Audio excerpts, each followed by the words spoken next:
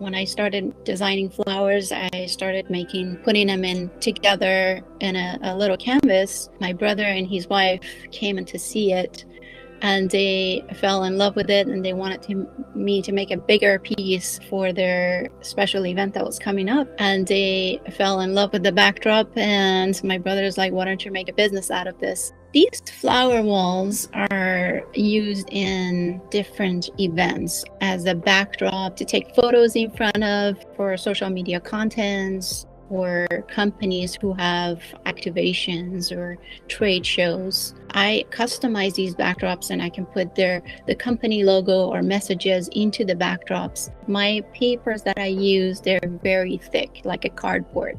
So when I make them, the flowers really stand out and I use the highest quality jewels for these backdrops. Right now, if I were to make a brand new one out of scratch, it will take me probably two weeks to three weeks to make one. So I just opened a studio gallery type, and what I have is um, I have over 12 different walls, flower walls in different sizes, colors.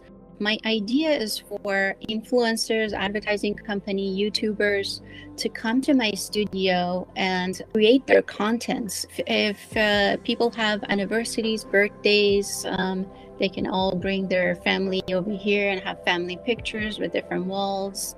And we can customize the flower walls to their needs and put their name on it if they need to. So people can rent uh, my studio by going on my website, mahirehan.com, and uh, they can go on the rental page, and that's where they can um, rent and book the studio.